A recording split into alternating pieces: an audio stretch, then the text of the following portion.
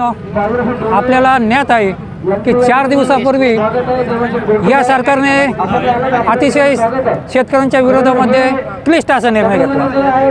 तो निर्णय म्हणजे असा की कांद्याच्या निर्यातीवरती चाळीस टक्के शुल्क लागू केलं. आणि या निर्णयाच्या विरोधामध्ये या निर्णयाला उत्तर देण्याच्याकरिता पुणे जिल्ह्यातील आळेफाटा या ठिकाणी या मेन चौकामध्ये शिवाजी पुतळ्या ठिकाणी आम्ही सर्वजण एकत्र आलो.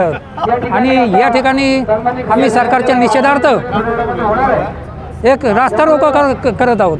कांद्याची बाजारभाव आम्हाला कमीत कमी पस्तीस रुपये हा हमीभाव मिळाला पाहिजे. आणि या सरकारने सरकारच्या काळामध्ये नऊ दहा वर्षे झाले संजय भाऊ उज्ज्वल तुम्ही शेतकरी संघटनेचे अध्यक्ष आहात. नऊ दहा वर्ष आले.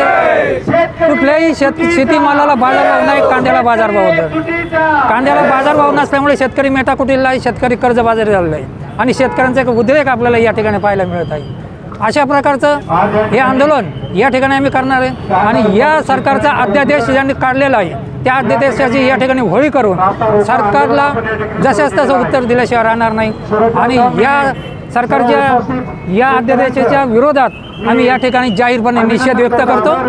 हा सर हे सरकार भविष्याच्या काळामध्ये पंचवीस वर्ष कमीत कमी येणार नाही अशी सर्व शेतकऱ्यांची भावना आहे. शेतकऱ्यांनी बोलून दाखवलं. पंचवीस वर्षाच्या नंतर आलं तर येऊ शकतं. ते पण त्याचं नशिबाने परंतु पंचवीस वर्ष अजिबात येणार नाही. सर्व शेतकऱ्यांचं असं म्हणणं आहे आणि शेतकऱ्यांचा मी एक अंदाज घेतला आहे मी सह्याद्री शेतकऱ्यांचा संस्थापक अध्यक्ष या नात्याने ठणकावून बोलत आहे.